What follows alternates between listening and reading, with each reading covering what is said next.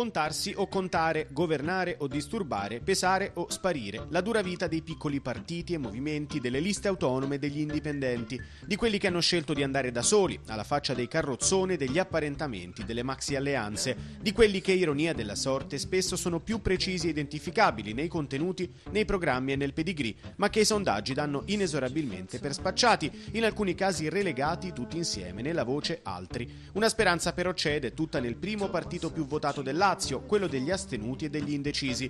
Il mare in cui nuotano i cosiddetti pesci piccoli, insomma, sembra essere ben più ampio di altre volte, 30% e oltre, un bacino enorme di elettori in cui pescare consensi. Prova ne sia che dai tre candidati presidenti delle regionali del 2010 adesso gli aspiranti governatori siano addirittura 13. La rivoluzione a 5 Stelle di Beppe Grillo e dei suoi è stimata nel Lazio oltre il 10%. Brutte notizie forse per la rete dei cittadini che alla Pisana candida Giuseppe Strano, detto Pino, catanese che da anni vive a Roma, movimentista di lungo corso, erede di Marzia Marzoli che nel 2010 non sfondò neanche il muro dell'1%. Propone, tra le altre cose, partecipazione diretta dei cittadini nelle scelte e democrazia dalla base. Di sicuro in tanti pensano che a destra di Storace ci sia spazio. Oltre a Casa Pound e Fiamma Tricolore, infatti, anche Forza Nuova presenta candidato il suo leader Roberto Fiore. Nell'articolato programma di governo si leggono, tra le altre, la proposta di istituire una moneta parallela all'euro, l'euro, e di fermare la deriva iperliberista che sta travolgendo la sanità nazionale. Casa agli italiani e abolizione proprio delle regioni, altri punti all'ordine del giorno. Ma oltre che con Storace, Fiore e i suoi dovranno vedersela con l'unanime condanna politica e mediatica all'ispirazione fascista del movimento, che in una regione da sempre contraddistinta dal voto d'opinione può essere al tempo stesso un vantaggio e un boomerang. Ripescata in extremis, Forza Nuova, così come la lista dei radicali, Amnistia, Giustizia e Libertà, parte dalla trasparenza e dal candidato presidente Rosso di Vita, che col collega Berardo è riconosciuto come colui che ha scoperchiato il pentolone fiorito. Scaricati, dicono i maligni, proprio per questo da Zingaretti, perso il taxi offerto da Storace, i radicali corrono come spesso accade da soli e i sondaggi gli attribuiscono un misero 2%. Gli va meglio che a tanti altri, certo, anzi agli altri, diversissimi ma uguali quando scompaiono nelle pieghe delle percentuali. Il 30% di elettori delusi però è lì a portata di mano per tutti.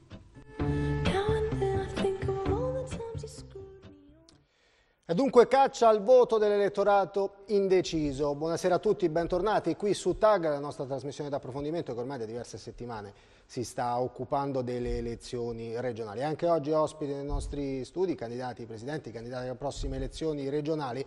Presento subito qui a fare le veci eh, del leader nazionale Fiore, candidato alla presidenza eh, della Regione Lazio per Forza Nuova, un candidato comunque della lista Forza Nuova che è Claudio Cospito. Buonasera, Buonasera. grazie.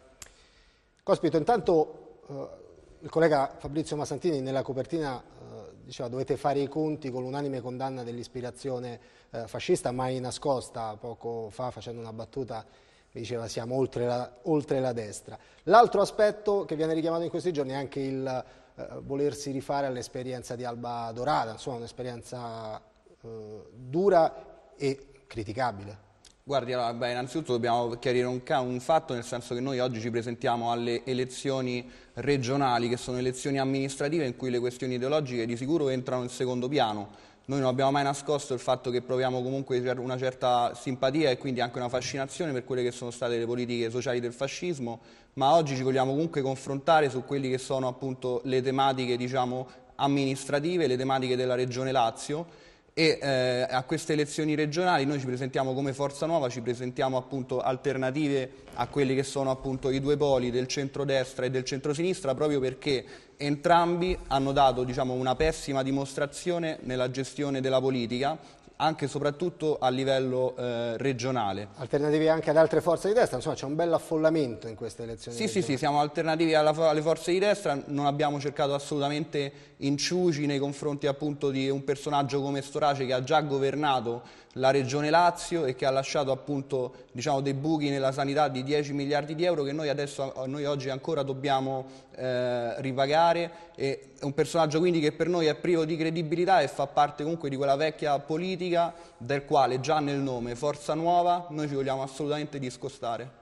Bentornato anche a Giuseppe Rosso di Vita, candidato alla presidenza della Regione Lazio per Amnistia, Giustizia e Libertà, la lista che presentano i radicali. Buonasera, grazie. Buonasera e buonasera agli ascoltatori. Una prima vittoria, insomma, l'ha già ottenuta nel terreno di conquista storico dei radicali, uno dei terreni di conquista storici, il TAR, perché la, la lista è riammessa, è presente. Sì, la lista è stata riammessa, noi in realtà non abbiamo mai dubitato eh, di questa circostanza perché le ragioni per le quali eravamo stati esclusi erano veramente eh, grottesche eh, sotto mh, qualsiasi profilo si volessero guardare.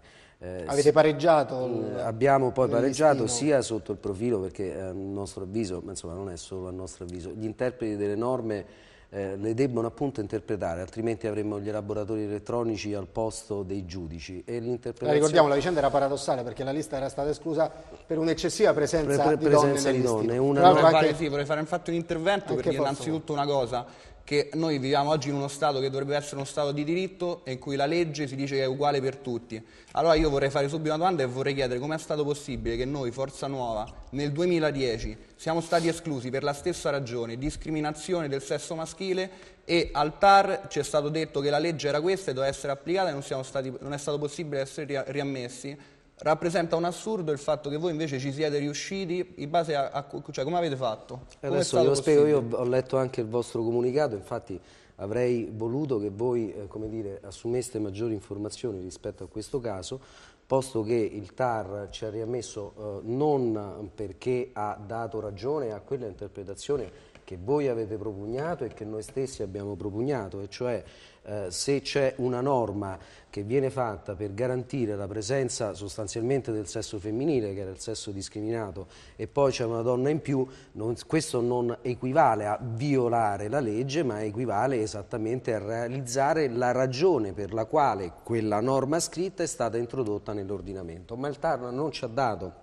ragione su questo, bensì a differenza di quanto avevate fatto voi, quindi magari prima di fare i comunicati informatevi un po' meglio, noi abbiamo eh, ehm, depositato una rinuncia della candidata donna in più e eh, questo nell'immediatezza davanti all'ufficio elettorale regionale, nell'immediatezza l'ufficio elettorale regionale aveva detto che comunque quella rinuncia era tardiva, e invece il TAR, interpretando quindi queste altre norme, non quelle che avevano mm -hmm. determinato anche la vostra esclusione, interpretando alla luce delle norme sulla, eh, non solo costituzionali ma anche del, del diritto comunitario per cui non motivo essere... chiaro insomma diciamo che stata il, il ricorso depositato voi non avevate una sorta di attenzione atto, mediatica specializzata nei nostri confronti comunque non c'è stata su questo anche perché ci resta da presentare un altro sì, sì, sì, ospite quindi anche per cortesia lo presentiamo subito è Pino Strano che è candidato alla Presidenza della Regione Lazio per la rete dei cittadini. Buonasera. Buonasera. Anche per lei una domanda così introduttiva, insomma, il vostro movimento che da anni insomma, ha questa ispirazione civica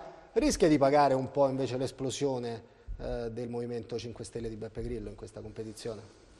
Forse era il momento giusto per, per l'esplosione e vi è stata soffiata da, dalla popolarità di Grillo? Ma mm, noi non siamo affatto preoccupati di questo, siamo preoccupati invece del fenomeno in sé, perché mh, le istanze che Grillo conduce sono quelle giuste che anche noi cerchiamo di rappresentare, sebbene con molta maggiore coerenza e più definizione anche nei programmi e nella struttura interna.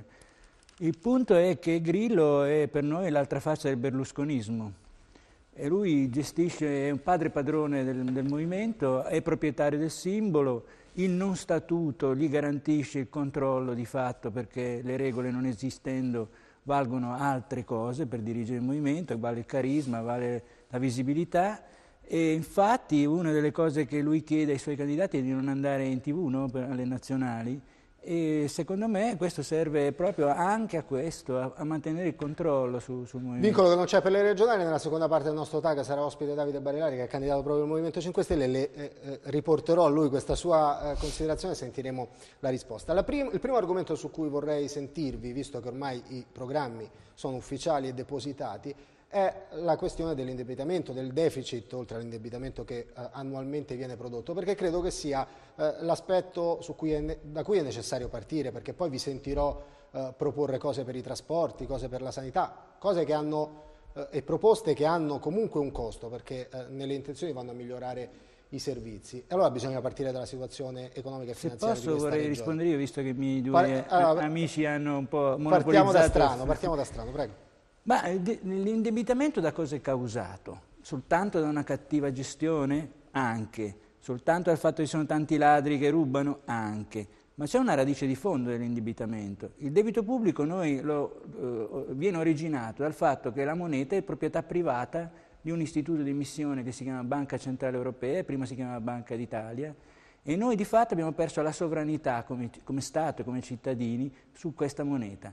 Per avere della carta che serve, dei simboli monetari che servono a fare funzionare l'economia, noi dobbiamo pagare degli interessi eh, a fronte dei quali dobbiamo corrispondere beni veri.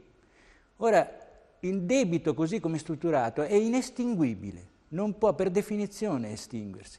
Se lei guarda il debito pubblico, eh, il nostro deficit è dovuto semplicemente al pagamento di interessi. Se eliminassimo questi interessi, che non si capisce perché dobbiamo dare, perché potremmo stamparci la moneta da soli, se eliminassimo questi interessi ne avremmo eliminato il debito pubblico. Noi ci stiamo riferendo in particolare all'indebitamento regionale però. È la stessa cosa, perché l'indebitamento regionale è figlio dell'indebitamento nazionale. Quando tu sei privato della moneta, noi dobbiamo inserire anche il contesto regionale, eh, la, la, la, le questioni problematiche regionali nel contesto nazionale. Ha fatto da uscire dunque dalla comunità internazionale? No, è possibile anche eh, utilizzare degli strumenti alternativi.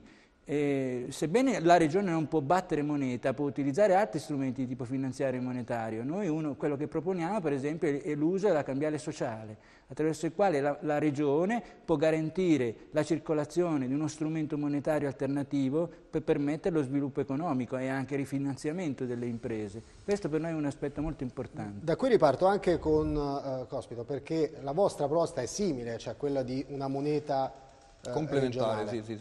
Noi esatto, nel programma abbiamo appunto fatto un'analisi, noi ci rifacciamo a quella che è l'analisi appunto del professor Giacinto Auriti che è stato docente universitario a eh, Teramo e che ha elaborato proprio la teoria della proprietà popolare della moneta, della proprietà della moneta da parte dei cittadini.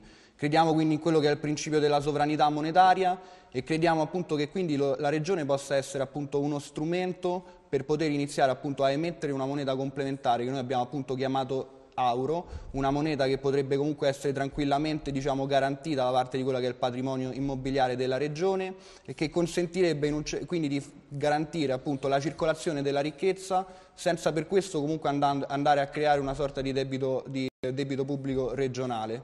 Quindi attraverso questa moneta... Ma che facciamo con l'indebitamento già accumulato? Con, con il debitamento già accumulato innanzitutto bisogna ripartire da quelli che sono appunto i tagli completi dei costi appunto della politica regionale, in quanto sia il sistema diciamo, che si è focalizzato nella regione è appunto un sistema partitocratico, i partiti hanno depredato quelli che erano appunto i fondi regionali, non possiamo andare a mettere le le i soldi, cioè non possiamo andare a mettere le mani nelle tasche dei cittadini, a chiedergli i soldi, a applicare nuove tasse quando poi i soldi della regione sono stati spesi da parte di consiglieri regionali per, gio per giocare alla roulette, alla roulette, o per giocare alle slot machine. È fondamentale tagliare quindi i costi della politica.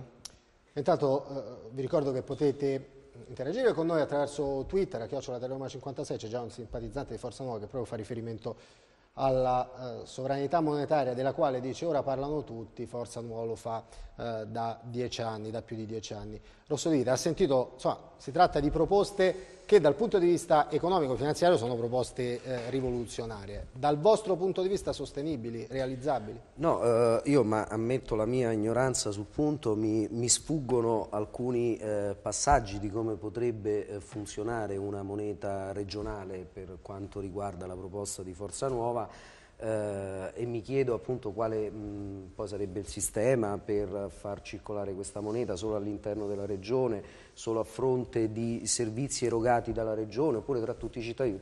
Sì, sì, no, no, no. Noi abbiamo ipotizzato la realizzazione diciamo, di una sorta di circuito in cui appunto è la regione a emettere moneta e attraverso questa sorta di moneta complementare noi ci siamo riagganciati anche ad ar altri argomenti come ad esempio il rilancio della produzione di quelli che sono i prodotti locali che vengono realizzati all'interno del Lazio, quindi le specificità agroalimentari e la circolazione di questa, cioè l'utilizzo di questa moneta potrebbe essere appunto destinato tranquillamente per l'acquisto di beni regionali, in questo modo la moneta continuerebbe a rimanere all'interno appunto di quella che è la regione, creerebbe ricchezza, non, non impedirebbe quindi l'aumento di debito pubblico, è un tentativo, ma non è un'utopia, perché oggi, l'altro giorno leggevo un articolo su, del, Wall, del giornale di Wall Street che diceva che proprio in tempi di crisi, in tempi di crisi nell'economia, il ricorso a monete complementari è, aus- è auspicabile e può funzionare ma ci sono anche tentativi anche già in altre regioni. Qualche tentativo c'è stato, non ha avuto, questo insomma, va detto che non ha avuto eh, i, i, risultati auspicati però fino a questo momento. Eh, Perché sono stati tentativi molto limitati, molto circoscritti, non garantiti da, da enti potestativi come, come quello della Regione per esempio. Mm, comunque rispetto alla nota che faceva eh, poi, abile, abile a monopolizzare no, è la seconda le, le risposta do, che dà su questa domanda però vorrei sentire voi, è approfittato voi, di una voi, mia voi approfitt... avete monopolizzato l'inizio adesso io cerco di monopolizzare pro... il centro eh, non monopolizza nessuno darò eh, eh, spazio uguale a tutti ve lo assicuro Rosso Dita vorrei sentire la proposta dei radicali sì. Eh, su come aggredire il debito e, e, e soprattutto su come eh, limitare il deficit già a partire dal 2013 no, perché è l'unico modo per poi avere risorse da redistribuire in qualche no, modo? Allora, io mh, queste proposte sono sicuramente interessanti e andrebbero approfondite meglio. Trovo degli ostacoli normativi, eh, diciamo a meno che non si faccia eh, qualche cosa di mh, magari un po' folcloristico, ma che poi eff effettivo non è, se invece si volesse implementare un sistema di questo tipo penso che andrebbero cambiate molte norme anche a livello nazionale. Per quanto riguarda la proposta loro, eh, chiaramente eh, non mi riferisco alla cambiare sociale ma al discorso della Banca Centrale Europea, eh, la posizione nostra e ovviamente qui andiamo a fare discorsi più ampi, eh, è quella invece che purtroppo oh, l'Unione Europea appunto si è ehm, alla fine risolta eh, in tutto meno che in quello che doveva essere, cioè una vera unione eh, politica eh, con la Banca Centrale Europea che fosse anche l'espressione di una politica eh, complessiva eh, europea sulla moneta ed economica e anche sulla materia della difesa. Però su questo vorrei intervenire un attimo, no, no, no, le, le subito la parola, solo per specificare una cosa, la regione. Banca Centrale Europea non batte moneta per i singoli Stati come, certo, come ovvio, però abbiamo eh, alle spalle nel recentissimo passato, in quest'anno, un intervento da parte della Banca Centrale Europea che poi può essere eh, criticabile per i modi attraverso i quali mh, è stato messo in campo, che però di fatto ha, eh, è intervenuta in maniera pesante sull'indebitamento di eh, paesi altrettanto importanti la Grecia, sì, poi ma, si è, ma detto, si è l'Italia. Detto, si è Insomma, detto che quei soldi dovevano andare come L'intervento della Banca Centrale Europea ha in qualche modo permesso al debito italiano stati, di, di risultare soldi, sostenibile di fronte alla comunità finanziaria internazionale. Ma era solo una precisazione, prego. Sono soldi che sono stati prestati alle banche per comprare eh, diciamo, il eh, debito pubblico, i titoli del debito pubblico e quello è un altro discorso. Eh, ovviamente il discorso a livello regionale non mi sembra in realtà affrontabile in questi temi e in questi, in questi, in questi termini, chiedo scusa, sono molto stanco. Eh, è, è, dura la campagna elettorale come preferenza. La campagna eh? elettorale. E, mh, invece quello che è appunto il uh, deficit della regione io lo imputo uh, esclusivamente ad una cattiva gestione uh, delle risorse che sono state introitate attraverso appunto il prelievo fiscale e i trasferimenti dello Stato, che sempre prelievo fiscale sono, e che comportano comunque un bilancio di 25 miliardi di euro all'anno e eh, io continuo a ritenere, per quel che ho potuto vedere, eh, un noto giornalista ha scritto un libro, ho visto cose, per quello che ho potuto vedere in questi due anni nel Consiglio regionale, eh, che eh, secondo me quei soldi sono più che sufficienti eh, per fare eh, della Regione Lazio una regione che potrebbe essere davvero una piccola Svizzera, se solo fossero utilizzati bene e se solo non fossero dirottati tra gli sprechi, il malaffare e la corruzione. Oh, eh, da qui ripartirei anche con le precisazioni che Strano vuole sulla uh, questione precedente, però non, siccome tutti e tre avete, uh, tutte e tre le vostre forze politiche hanno come punto forte anche quello della riduzione dei costi della politica, della riduzione dei costi in particolare del Consiglio regionale, non mi verrete adesso a dire però che limitando esclusivamente su quel fronte no, le spese quello, no, della regione si, si risana Assolutamente. il debito. Poi dopo ne parliamo. Eh, okay, quando... giro strano. Questo infatti io non lo dico, però certamente è un aspetto che bisogna affrontare. Ah, e tra l'altro non sono solo i costi della politica diretti, cioè quelli causati dai rappresentanti o dalla gestione cattiva da parte degli assessorati, eccetera, ma sono anche i costi indiretti, nel senso che tutti i livelli intermedi di gestione del potere, di dirigenza da, da, dei servizi, sono affidati per, eh, con motivazioni politiche e non per capacità. E i criteri di valutazione sono politici, non basati sull'efficacia e l'efficienza del, del, loro lavoro. Per questo noi diciamo, diciamo che rispetto a questo dovrebbe, dovrebbero entrarci i cittadini nel valutare come funzionano i servizi e le dirigenze ai vari livelli, dai più bassi ai più alti, dovrebbero essere valutate e premiate o punite da, dal giudizio dei cittadini. La customer satisfaction non c'è bisogno di inventarla, esiste già, funziona per le imprese private, non si capisce perché certi criteri scientifici eh, di, di, efficacia e di efficienza non possono essere applicati anche ai servizi. Per quanto riguarda invece il discorso di prima sulla faccenda che la Banca Centrale Europea ci avrebbe salvato, è proprio il contrario. È proprio il contrario. Non era quello che volevo dire, forse l'ho espresso male. Eh, comunque sia, ultimamente Draghi ha fatto questa dichiarazione di che finanzierà il sistema bancario europeo illimitatamente, proprio per coprire le speculazioni, eccetera, ha fatto questa dichiarazione. Le fi- finanzia il sistema bancario con un interesse dallo 0,75 a 1%. Dopodiché le banche che cosa fanno per aiutare l'economia? Comprano bot al 5, 6, 7%. Mi spiega dove sta l'aiuto? ci hanno strangolato, noi siamo in mano dei cravattari internazionali, questa è la verità. Non parlavo di aiuto, parlavo di intervento da parte della Banca Centrale Europea, la scelta, poi ho detto, attraverso il quale l'intervento si, si, è espresso può essere più o meno criticabile, però si è comportata come si sarebbe comportata probabilmente eh, una, una, banca centrale nazionale, eh, ha fatto una scelta di economia finanziaria criticabile. No, il Fondo lei. Monetario Internazionale, che è un'altra cosa rispetto alla Banca Centrale Europea, ha criticato invece i, eh, la, la, la politica monetaria de, della Banca Centrale Europea. Tanto Però è vero ha, che lo, chief, lo chief economist del Fondo Monetario Internazionale ha, ha, ha, esplicitamente dichiarato che i tipi di interventi che ha fatti da Monti sulla base della letterina inviata erano eh, suicidi eh, hanno stretto e soffocato l'economia, quindi hanno peggiorato il problema e mi sembra che sia evidente. Risorse da recuperare, al di là, eh, cioè insieme a quelle eh, dei costi della politica, Cospita. Sì, allora diciamo che innanzitutto l'altro giorno Berlusconi ha fatto appunto una promessa, restituirò l'IMU ai cittadini. Allora provocatoriamente verrebbe da chiedersi per quale motivo non ha ancora restituito tutti quelli che sono stati finanziamenti pubblici che il popolo delle libertà comunque ha diciamo, percepito in dieci anni di eh, esistenza, no, vabbè, in, in, negli anni in cui è esistito.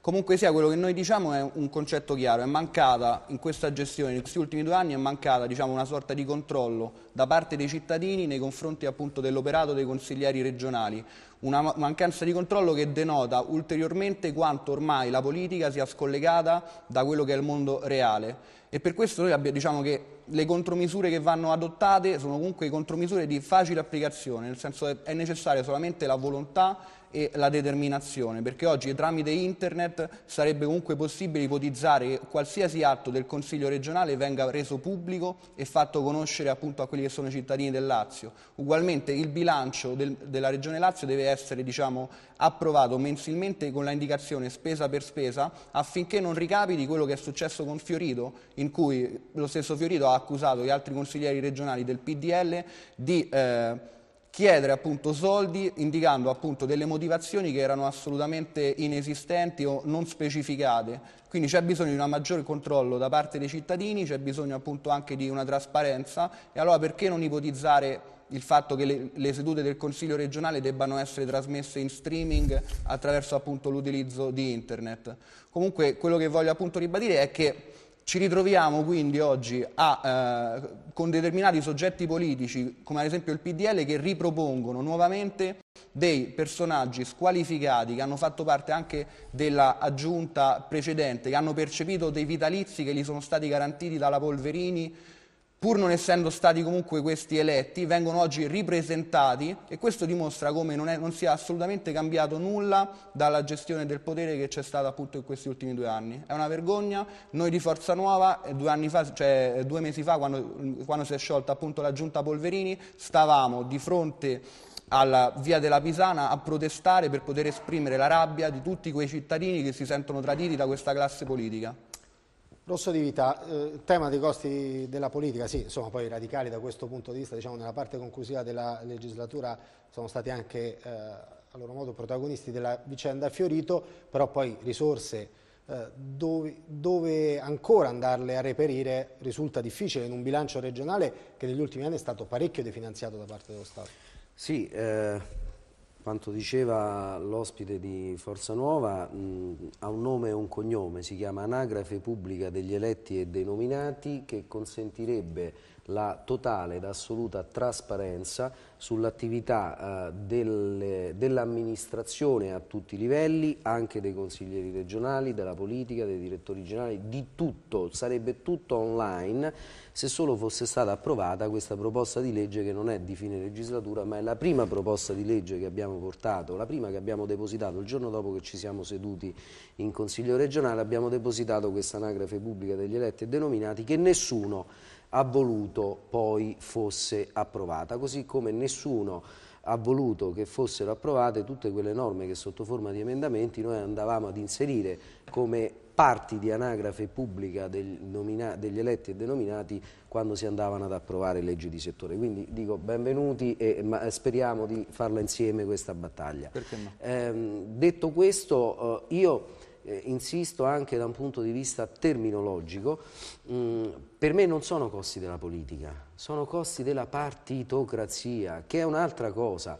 Eh, eh, allora, mh, mm, adesso ovviamente sull'onda del populismo e della demagogia, eh, i consiglieri regionali sono stati eh, tagliati da 70 a 50, noi abbiamo fatto un eh, ricorso al TAR, il cui merito dovrà essere discusso il 7 marzo e chissà che non ci troveremo ad affrontare dopo pochi mesi una ventina di ripescati una, no no no no e si dovranno rifare le elezioni un'altra campagna elettorale eh, perché eh, qual è il nostro, uh, il, il, il nostro principio? Eh, qui non si deve andare a tagliare la rappresentanza democratica eh, ma non perché siamo partiti piccoli, io l'inizio di quel servizio non lo voglio neanche commentare. Eh, il, eh, i, i, sondaggi sono il eh, più grande eh, strumento di campagna elettorale che viene utilizzato ovviamente dai grandi partiti che hanno tanti quattrini per farli giornalmente e per orientare l'opinione pubblica. Io ancora credo in un miracolo in cui i cittadini quando vanno dentro l'urna invece non seguono quello che dicono i sondaggi, ma seguono la loro testa, la loro coscienza e soprattutto eh, siano in grado di discernere tra tutte le informazioni che se ci fosse libertà e democrazia in questo Paese eh, avrebbero dovuto acquisire durante la campagna elettorale per fare la scelta migliore. Per quanto riguarda Teleroma 56, lei ha la seconda no, presenza. No, eh, ma non parlo di Teleroma 56, no, io parlo della RAI. Servizio. Lei no, que no, no, il servizio... partiti piccoli la fa arrabbiare ogni volta. Certo che mi fa arrabbiare, perché servizio, noi siamo nel servizio piccoli. si diceva anche no, noi siamo che hanno rinunciato, senta, rinunciato noi, a far parte di siamo, carrozzoni noi siamo, Ma sì, ma assolutamente, ma a me non interessano i carrozzoni impresentabili. Io dico che Forza Nuova, Rete dei Cittadini, radicali della lista Amnistia, Giustizia e Libertà, il 24 mattina, eh, quando si aprono le urne, sono sulla stessa linea di partenza del ah, PDL o del PD e poi decideranno i cittadini. E non è vero quello che si dice appunto che gli altri partono avanti e quindi c'è il voto utile. L'unico voto utile per i cittadini e spero che oramai l'abbiamo capito tutti quanti, non è il voto utile per i partiti grandi, perché i partiti grandi eh, eh appunto hanno avuto il, i voti utili per loro stessi e in 60 anni hanno ridotto questo Stato e questa Regione nelle condizioni in cui appunto siamo, siamo ridotti oggi. Allora il voto utile è quello del cittadino libero che magari eh, eh contemporaneamente tutti quanti possono pensare ma come sarebbe una Regione governata da 26 radicali anziché avere solo due radicali all'opposizione? Sarebbe una Regione eh, eh, che rispetta la trasparenza, la legalità, eh, tutte queste cose di cui oggi eh, siamo tutti, anzitutto noi candidati come cittadini, siamo affamati di legalità e di allora. Siccome ci dobbiamo fermare, voglio però riproporvi un attimo, siccome eh, la Presidente di Missione... Non ho risposto sui costi della partitocrazia. Prego. Ha ragione lei che un ho minuto. Ho fatto una premessa. Eh, ho fatto una premessa. Un minuto, prego. I, i costi, allora, come diceva anche l'ospite della rete dei cittadini, il, eh, i costi della politica sono una cosa, i costi della partitocrazia sono un'altra. Il Consiglio regionale prende lo 0,2%, tutti questi rispetto al bilancio della regione. I soldi dov'è che vengono spesi? Vengono spesi male dalle giunte e dalla giunta. Ogni giorno la giunta faceva fumar via 50, 60, 70 milioni di euro, non dati a chi ne ha bisogno, eh, ai più meritevoli, ai progetti eh, che realmente rilanciano l'economia, ridati agli amici che poi adesso in questa campagna elettorale riportano i voti per cui poi si dice i sondaggi, quelli sono Riport- i grossi Ripartiamo partiti. da qui subito dopo la pubblicità anche perché gran parte di questa spesa finisce nel settore della Due spesa terzi. sanitaria, Due terzi. per cui ripartiamo da qui. Prima però vi eh, propongo delle dichiarazioni di Renata Polverini, Presidente uscente della Regione, eh, che proprio in tempo reale sta facendo un'altra intervista. La storia del Lazio viene da lontano, nessuna giunta può aver fatto da sola 25 miliardi di debiti. E qui, insomma, eh, poco da commentare. L'altra questione riguarda Fiorito. Sicuramente, ha detto la Polverini, Fiorito era una mela marcia. Commento rapido, parto da strano? Eh, era l'unica? Io non credo, io credo che il sistema sia così. Ogni tanto si scopre la mela marcia, ma io credo che le mele marce siano molto di più. Ma il punto non è questo, è come facciamo a evitare che esistano e come ci difendiamo quando le troviamo. Perché io sono ben contento che eh, anche Forza Nuova si stia spostando verso posizioni di democrazia partecipata. Qui in questo caso noi abbiamo un diritto di, di primogenitura, ma credo che al di là di questo sia giusto seguire qualunque soluzione e, e, e ai problemi, indipendentemente da quale possa essere la matrice. E, questa è una cosa che ci caratterizza, noi proprio siamo ideologici da questo punto di vista, aperti a qualunque cosa. Fra le nostre file esistono persone di destra, di sinistra, di centro, fuoriuscite dal PDL e così via.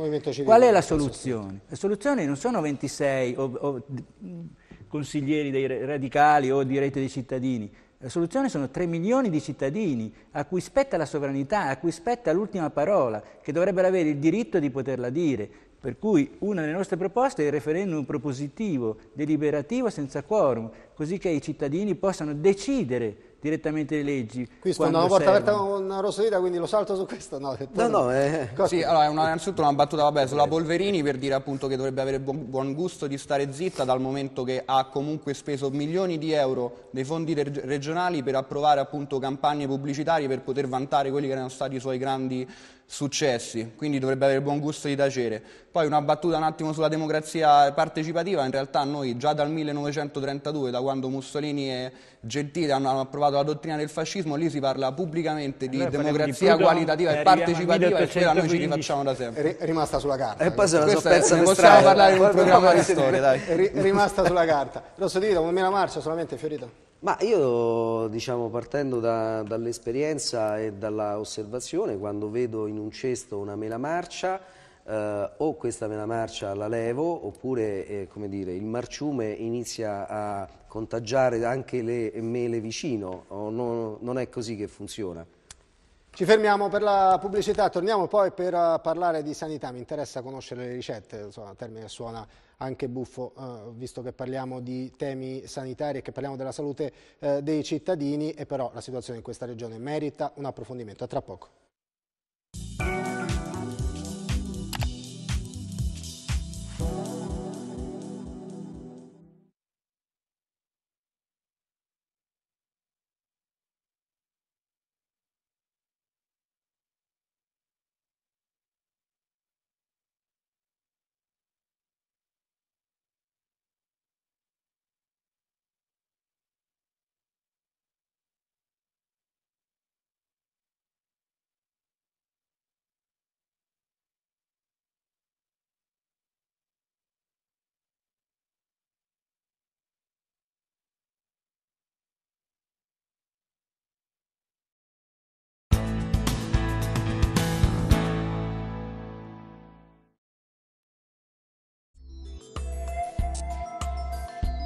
Abbiamo realizzato vere case da ammirare, eleganti, rifinite e di pregio, tra via Collatina e via Prenestina. Acquistando una casa dal gruppo Edoardo Caltagirone troverete, oltre alla qualità riconosciuta, modalità di pagamento eccezionali, mutui a condizioni irripetibili, con rate inferiori ad un canone di affitto e senza costi di intermediazione. Richiedete l'assistenza del nostro personale per informazioni e per valutare possibilità di permute ai numeri 06 22 18 14 67 o 06 22 53 294. IC, dove le case sono più belle.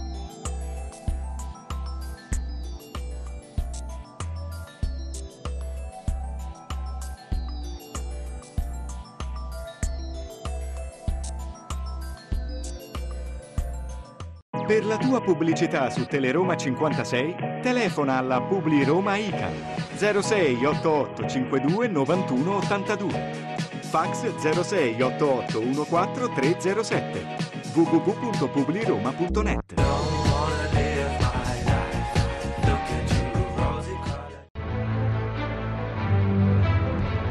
L'appuntamento è con 56 Live dal lunedì al venerdì dalle 19 alle 21. La politica, la cronaca cittadina, lo sport con le ultime notizie su Roma e Lazio. 56 Live, l'informazione rigorosamente in diretta di Teleroma 56.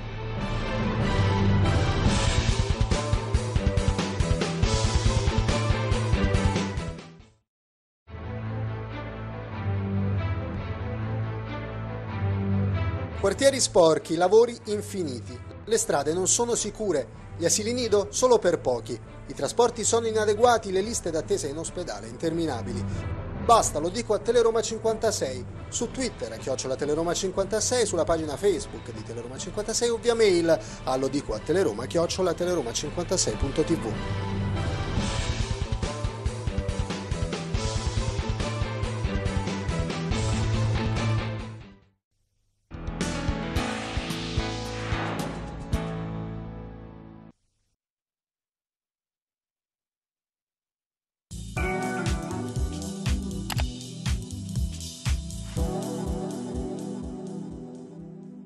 Torniamo, torniamo qui su TAG, come promesso, per parlare di sanità. Due terzi della spesa eh, di questa regione finisce nel, nel, settore sanitario, a giudicare dalla necessità eh, che, che, sembra eh, essere impellente, a giudicare da quello che i due commissari ad acta, gli ultimi due commissari ad acta hanno proposto, eh, insomma, la situazione è grave e dal punto di vista economico e in parte, solo in parte, anche dal punto di vista dei eh, servizi offerti ai cittadini e tra poco ne vedremo un esempio. Come intervenire da questo punto di vista? Questa volta parto da Rosso di Vita. Ma, la questione della sanità è complessa e allo stesso modo semplice. Eh, in che senso? Mm, complessa dal punto di vista economico, eh, semplice dal punto di vista dei servizi che devono essere garantiti ai cittadini, cioè io penso che noi non possiamo avere eh, opzioni rispetto ai servizi eh, da garantire ai cittadini. I cittadini eh, hanno il diritto alla salute garantito dall'articolo 32 della Costituzione e quindi bisogna assolutamente evitare quelle situazioni che pure si sono verificate attraverso i tagli della Polverini in questa, con, in questa, legislatura, dove per esempio si sono andati a tagliare posti letto nelle province dove già piuttosto che a Roma, questo per ricambiare il favore al Vaticano e alle cliniche convenzionate religiose che fanno alzare in modo spaventoso il rapporto posti letto cittadini sulla città di Roma, soprattutto in alcuni quadranti della città di Roma. Ebbene lì la Polverini non ha tagliato niente, invece dove ha tagliato? Nelle province. Nelle province dove il rapporto era già di 2 a 10 e eh, dove anche la conformazione geografica ha uh, una sua fondamentale importanza, gli spostamenti, le urgenze e la chiusura dei pronto soccorso ha causato, come avevamo detto, delle morti purtroppo e queste morti sono sulla coscienza di chi ha fatto dei tagli eh, senza andare a eh, vedere dove dovevano essere effettuati i tagli. Eh, ci ho detto noi la nostra proposta è esattamente quella della Bonino di, eh, nella campagna elettorale del 2010, cioè una medicina di prossimità e territoriale che vada ad alleggerire il ruolo dei pronto soccorso eh, e eh, sicuramente lì dove c'è un surplus di offerta ospedaliera anche attraverso la, eh, il privato convenzionato, eh, lì deve essere tagliato senz'altro, Uh, dopodiché eh, c'è un, senza guardare in faccia a nessuno, e questa è una garanzia, che noi non abbiamo debiti elettorali da pagare con chi che sia e quindi forse ne guadagnerebbero i cittadini, perderebbero senz'altro eh, dei quattrini le strutture religiose, ma eh, poco, poco importa in questo momento. Um, tagliereste solo perché in quanto strutture religiose no, andreste a vedere no, andremo a vedere dove esattamente, funziona, andremo, dove andremo a vedere esattamente dove c'è un surplus di offerta.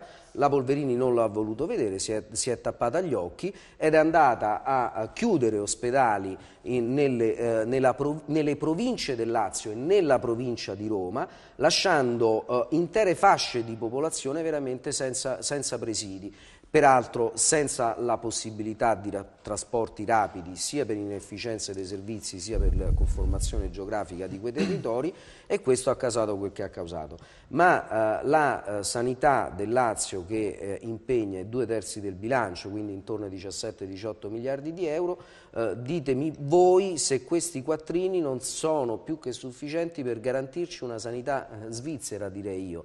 Se solo non ci fossero, ancora una volta, gli sprechi, il malaffare e la corruzione, che tutte lì si annidano. Ma perché si annidano lì? Spieghiamolo ai cittadini. I direttori generali delle ASL vengono nominati dalla, eh, dai partiti di governo e dai partiti di opposizione consociativi, tant'è che in, anche in questa legislatura ci sono stati dei direttori generali che sono stati riconosciuti dalla Polverini al Partito Democratico, eh, ovviamente questo all'insaputa eh, di noi eh, radicali, che avevamo proposto una cosa molto semplice, andiamoci a mettere i migliori, facciamo una selezione con i curricula online, trasparenti, i cittadini verificano, controllano, no. Qual è il requisito essenziale? Tessera di partito in tasca, fedeltà al Presidente della Regione per fare clientelismo con tutti gli appalti delle ASL e le ASL sono dei pozzi senza fondo Quindi, che non hanno bilancio. Meritocrazia anche nella, nella, scelta dei eh, direttori generali e dei direttori eh, sanitari. Noi la dobbiamo liberare questa Regione da questi partiti che se la sono mangiata. È chiaro, è chiaro, Cosmo. Sì, assolutamente d'accordo sulla meritocrazia, in più vorrei aggiungere comunque il fatto che diciamo che c'è stato un taglio dei costi della sanità che secondo noi è stato sbagliato perché si è tagliato comunque, si sta cercando di tagliare anche col decreto Bondi sui, sui posti letto, si sta cercando appunto di tagliare comunque su quello che è il personale medico e sanitario, non vengono fatti concorsi, non vengono più, non vengono più regolarizzati diciamo, i contratti di, eh, né dei medici né della struttura appunto degli infermieri, che sono comunque le strutture portanti della sanità, non vengono fatti nuovi concorsi. Invece noi di Forza Nuova diciamo che se ci deve essere una razionalizzazione, allora questa deve avvenire su quello che è il personale burocratico della sanità, che rappresenta appunto il 50% del personale sanitario, che è un personale che non è produttivo e se tagli devono essere, allora devono avvenire su questo. In più noi diciamo che la regione e quindi lo Stato devono difendere quelli che sono appunto le strutture sanitarie a gestione pubblica e i finanziamenti devono essere dunque destinati esclusivamente a loro. Quelle che sono le strutture private, appunto questo già lo dice il nome, devono essere finanziate dai, priva dai privati e la regione non ci deve quindi mettere bocca.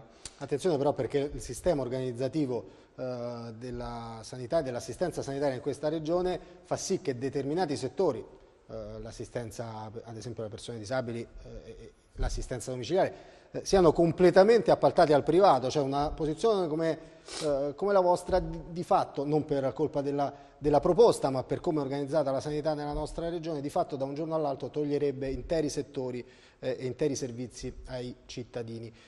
Vorrei chiederle invece Strano dal punto di vista della sanità pubblica, della sostenibilità del sistema sanitario pubblico, in queste ultime settimane, in questi ultimi mesi, c'è chi l'ha messa in discussione, portando ad esempio eh, i casi delle regioni che si sono indebitate pesantemente eh, per sostenerlo. Deve continuare ad essere un punto eh, imprescindibile quello? La sanità è fondamentale, è uno dei parametri di valutazione della civiltà di, di, di, di un popolo. Eh, ma il problema è che io sono assolutamente d'accordo con quello che detto prima, hanno detto prima loro, siamo tutti d'accordo, potremmo stare in giunta insieme su questo, ma eh, c'è di più. In giunta insieme poi voglio sapere che fare con i consultori. La politicizzazione con, con ha raggiunto perché... dei livelli che non riguarda solo i direttori generali, riguarda i primari riguarda i direttori dei servizi, delle unità operative semplici. Abbiamo primari con sei posti letto. È successo, e indipendentemente dai vari governi che si sono succeduti in questa regione, che ogni volta che cambiava il, il, il presidente della, della, regione, il governatore della regione, eh, con il sistema dello spoil system esagerato, reparti che funzionavano bene hanno avuto, sono stati dire, smantellati perché erano diretti da personale che non aveva la tessera di quel partito. Oh, da questo punto di vista lo spoil system è una legge. Possibile che non si riesca a migliorarla mettendo dei paletti eh, più stringenti anche su come eh, deve essere deve verificarsi? La, perché al momento consente solamente alla nuova giunta di eh, nominare persone Qual è di la propria soluzione? fiducia. Perché questo è il problema, ma la soluzione qual è? Non basta dire meritocrazia. Chi la applica questa meritocrazia? Se la meritocrazia è nelle mani delle stesse persone che, che l'hanno adesso, abbiamo concluso niente, siamo mangiati la coda.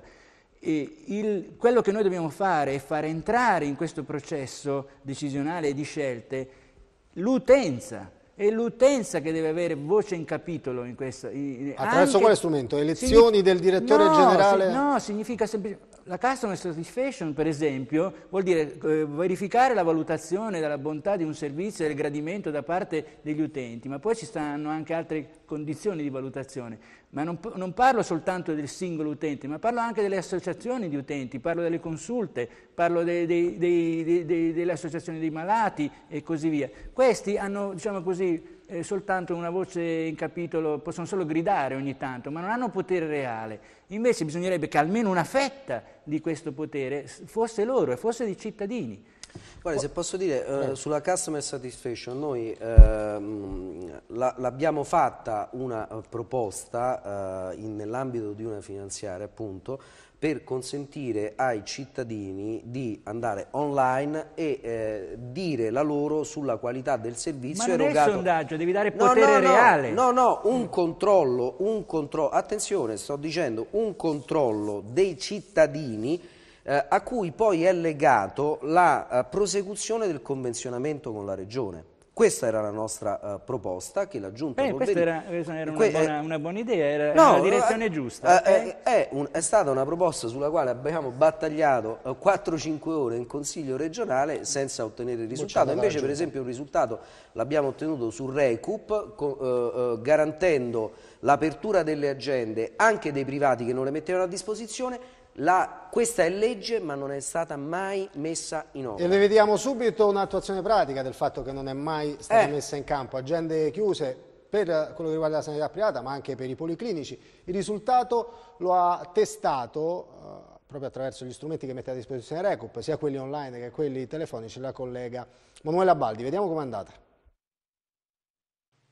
Tra i punti deboli della sanità del Lazio ci sono le liste d'attesa e anche le difficoltà nella prenotazione dei servizi e degli esami appunto sanitari. Dunque c'è un sito che è quello del Recup del Lazio sul quale è possibile eh, sia effettuare le prenotazioni ma anche consultare quali sono state le liste d'attesa nello scorso anno, un fattore trasparenza, dunque già dal settembre del 2012 è possibile vedere quante, eh, quanti giorni c'era eh, da aspettare per alcuni degli esami più difficili e anche più urgenti da fare. Noi siamo andati a vedere sul sito, ve lo facciamo vedere, vi facciamo vedere per i diversi esami quali sono stati ehm, appunto le attese a seconda delle diverse ASL.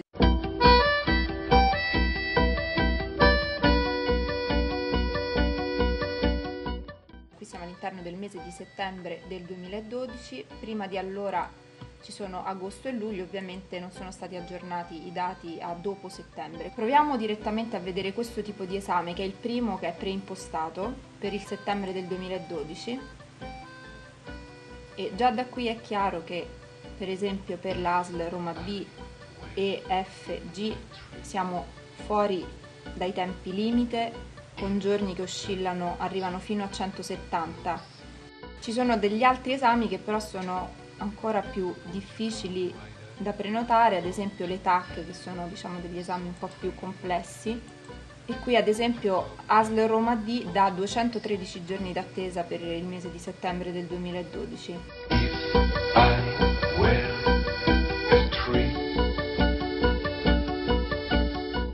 Per esempio per l'ecografia del capo e del collo, qui siamo in una situazione per cui addirittura nelle ASL di Roma F e G abbiamo tempi che arrivano quasi all'anno di attesa.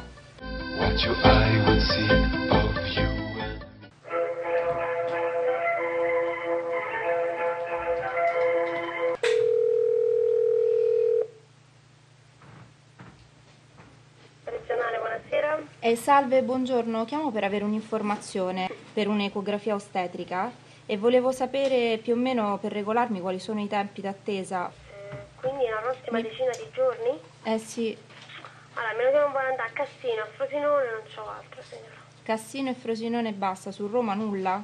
Roma nulla. La più vicina che c'è quando è? Aprile, signora, già partorito. Ah, ecco, perfetto. Comunque diciamo che gli esami più difficili da prenotare sono le ecografie, mi pare di Ecografie, capire. sì, di qualsiasi genere, non solo quelle della gravidanza. Ah, quindi anche le altre? Ecografie, sì. Tutte le ecografie in genere, ma perché ci sono questi- queste attese così lunghe? Perché più tanta gente purtroppo sta male, i posti negli ospedali sono limitati e ovviamente si riempiono subito appena ci danno le agende, quindi andiamo a tempi molto lunghi. Da aggiungere come piccola appendice nel caso in cui la collega avesse provato a a vedere in intramenia quando, e quindi a pagamento però presso la stessa struttura eh, ospedaliera, quando fosse stata disponibile una ecografia, nel giro di 4-5 giorni avrebbe risolto il problema. C'è indubbiamente qualcosa da rivedere, eh, in questo caso parto da Cospito. Sì, c'è eh, d- qualcosa da rivedere anche perché quello che poi non dice il servizio è che ben il 50% delle persone che si rivolgono appunto al RECAP dopo aver sentito appunto quali sono i tempi d'attesa rinunciano appunto anche a- a pre- alla prenotazione delle visite che, hanno, che appunto hanno fatto. Quindi c'è comunque un problema di, sicu- di sicuro un problema di disorganizzazione, nel senso che i problemi della sanità quindi non investono soltanto quello che è il campo del finanziamento, ma anche appunto della disorganizzazione. E eh, beh, quello che possiamo dire è che allora innanzitutto iniziamo ad aprire gli ambulatori 24 ore su 24, iniziamo a considerare appunto eh, quello che è diciamo, il personale, la gente che si rivolge agli ospedali non più come dei clienti, bensì come appunto veri e propri utenti che devono beneficiare di un sistema che comunque è espressione appunto dello Stato sociale. Cioè lo Stato deve tornare quindi anche a, magari a svolgere innanzitutto una funzione di controllo e aprire anche un'indagine sul perché del malfunzionamento appunto di questo sistema. Strano, diceva Rosso di Vita, eh, le agende a disposizione delle strutture private non ci sono, non sono a disposizione del Recup. In molti casi Per neanche- legge sì, perché la legge l'abbiamo fatta la, la approvare, legge ci siamo nell'ultima riusciti. legislatura lo prevederebbe, stesso discorso per i policlinici, aggiungo che anche le strutture eh, che mettono a disposizione la propria agenda la fa- lo fanno solo nella misura del 40-45%, Eh, eh, insomma se quello deve essere lo strumento regionale per la prenotazione non può una struttura ospedaliera regionale mettere a disposizione solo meno della metà dei Non dovrebbe. Io vorrei capire chi, chi è che si inventa certe cose, perché eh, abbiamo, um, abbiamo avuto in, questi du- due o tre anni di, di governo Polverini, ma devo dire che la situazione non era molto diversa anche prima. Una serie sul di liste d'attesa Una serie no. di provvedimenti che riguardavano la sanità, alcuni addirittura inapplicabili, proprio tecnicamente inapplicabili. Questo perché i tavoli tecnici che dovrebbero supportare gli assessorati, in particolare quello del, del commissario ad acta per la sanità, in realtà sono anche questi di nomina politica sostanzialmente.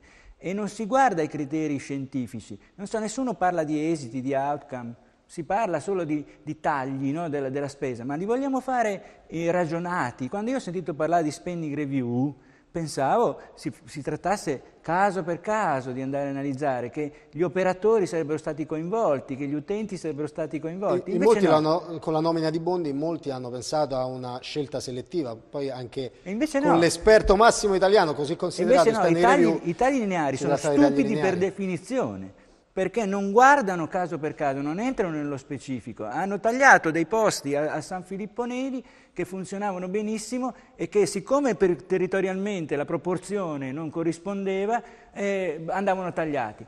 Ma vi rendete conto che quelli erano servizi che funzionavano bene, erano efficienti, erano efficaci, economici e servivano non solo quel territorio, ma anche altri. Che, Eh, Roma Nord, alla diciamo- fine tagliare quei posti costerà di più, perché bisognerà dare quei stessi servizi in altro posto. Li- come li facciamo? Da dove andranno? Ecco. Rosso di Vita? Sì, no, eh, dicevo, mh, c'è eh, innanzitutto anche una volontà, eh, perché il, eh, quando noi siamo riusciti, vabbè, mh, non sto a descrivere la situazione d'aula nella quale mh, per eh, una serie di coincidenze siamo riusciti a mettere alle strette la giunta Polverini, in realtà la giunta doveva approvare un provvedimento eh, entro la mezzanotte e io e il mio collega Rocco Berardo, non il PD, non SEL, non gli altri, abbiamo presentato oltre mille emendamenti e quello non gli permetteva di approvare eh, la, la- la, mh, appunto la legge entro la mezzanotte e quindi ci ha come dire, concesso eh, l'approvazione di alcuni emendamenti. Tra questi c'è eh, quello della, ehm, del, del Recup eh, dove abbiamo eh, messo sulla legge che le, eh, i privati convenzionati eh, dovrebbero, devono mettere a disposizione le agende interamente, come lo dovrebbe fare il pubblico, del Recup. Questo doveva essere attuato entro la fine di dicembre del 2012 se non mi sbaglio, e, però con altri regolamenti poi approvati dalla Giunta. ha Mai, mai appro- sarebbero venuti Maia e No, hanno hanno pensato che sono venuti Maia, questi regolamenti non sono mai stati approvati da chi governava e- e- ed è passata in cavalleria anche questo, ma è un filo che si può tirare. E questo del Recup io lo so oh, perfettamente perché penso di essere eh, un- forse l'unico consigliere regionale che avendo avuto bisogno si è rivolto al Recup eh, per fare dei test allergologici ai, ai farmaci, riguardavano un- mia figlia piccola eh, e ovviamente mi avevano detto delle, del- delle, ehm, date assolutamente lunari tipo 2014-2015 salvo l'intramenia. Eh, an- andiamo eh, in visita eh, appunto a pagamento, eh, dopodiché avevano fatto male i loro calcoli perché trovandosi un rompiscatole radicale il giorno dopo stavano sui giornali e anche con denunce. Sulla questione eh, sanità direi possiamo fermarci qui. Voglio farvi una domanda un po' più politica. Tra i due principali candidati, adesso Rosso divitami, eh, Zingaretti... Quindi tra i due principali candidati, Sei quindi, io e chi? Quindi Rosso di Vita e... Rosso di Vita e Strano. e- Allora, diciamo i- Forza i più- Nuova anche. vogliamo dire i più pubblicizzati, mettiamola così. Ecco. Eh, No, tra i candidati di regime! Ah, beh, questa, è la, questa è la posizione Rosso di Vita. Zingaretti e eh, Storace, eh, confrontando i programmi, non vi sto chiedendo chiaramente una simpatia personale o un atteggiamento ideologico, eh, per voi pari sono, nel senso che dovendo eh, scegliere, non, non accade perché la legge non, Mi non prevede un secondo Mi turno. vuole fare scegliere la- il colore della corda con cui piccarmi? Grazie, preferisco di no.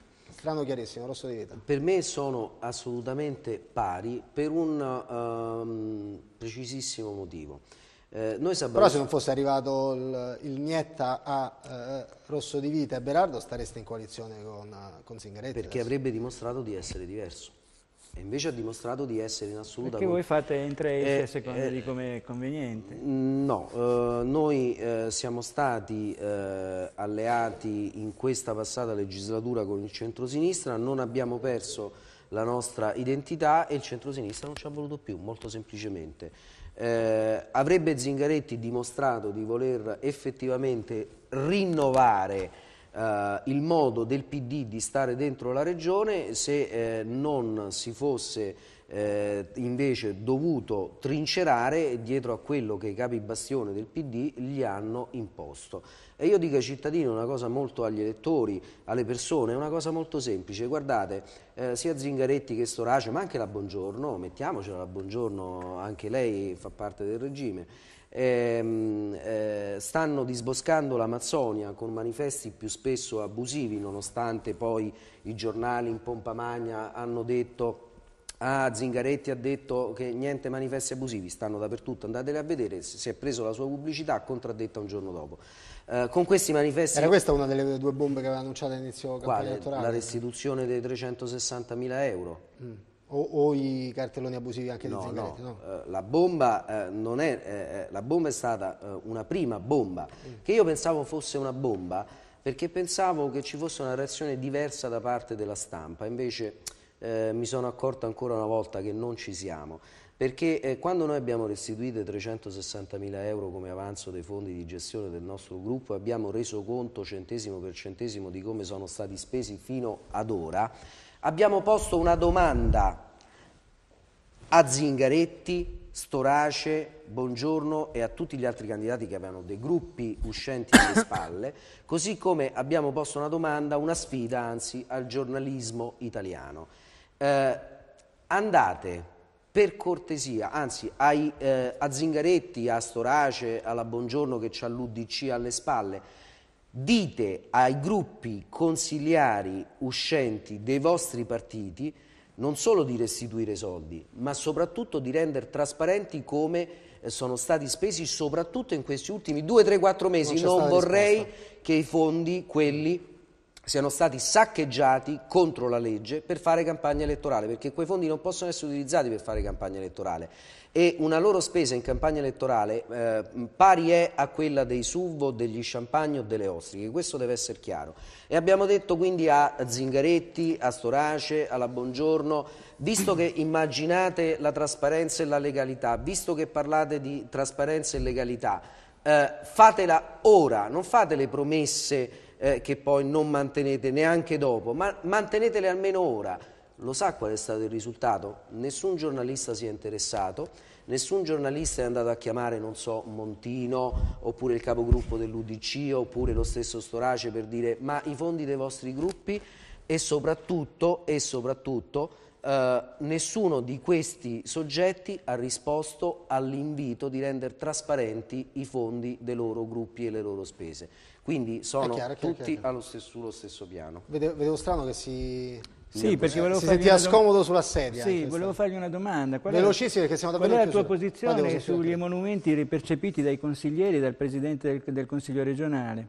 Sì, eh, molto, eh, lo- la volevo finire prima questa cosa. la Eh, mia posizione... Noi abbiamo deciso autonomamente di autoridurci gli emolumenti. Posso Io dire me li sono- a un minuto proprio. Noi ce li siamo autoridotti nel corso di tutta la legislatura perché la Eh, metà... eh, vanno al partito, Eh, eh, per- certo. eh, certo, Eh, perché- eh, uscivano certo. sempre da... Certo, la metà va, casse eh, la rete civica avrà le sue spese, noi abbiamo le nostre spese di struttura che sono ridotte al minimissimo. Siamo, Però da eh, statuto è disposto a un'ulteriore riduzione dello Ma l'abbiamo detto, la- lo volevo dire prima, la rappresentanza non va decurtata da 70 a 50 perché quella impedisce a loro, a Ma noi su- di sulle- essere sulle dentro, spese eh, riduce Grazie. la democrazia, Cospito, il consigliere sulla- vuole sulla domanda 30 euro. iniziale. Non si Sì, possono allora- chiedere Sto- sacrifici Storace se non siamo noi primi a Storace, capito? scusate, Storace e Zingaretti sono comunque, come abbiamo già detto, espressione di una politica vecchia che ormai ha fatto il suo tempo, che hanno la faccia tosta di ripresentarsi a chiedere il consenso dei cittadini e già questo grida vendetta al cospetto di Dio. Noi diciamo appunto che se vogliamo veramente cambiare l'Italia è necessario cambiare il modo di votare,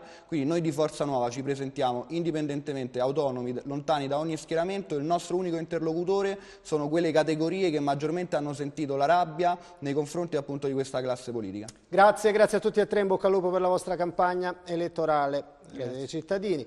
Eh, Amnistia, Giustizia e Libertà, Partito Radicale e Forza Nuova. Grazie a tutti, restate qui, continua TAG subito dopo la pubblicità ancora con un altro ospite, a tra poco.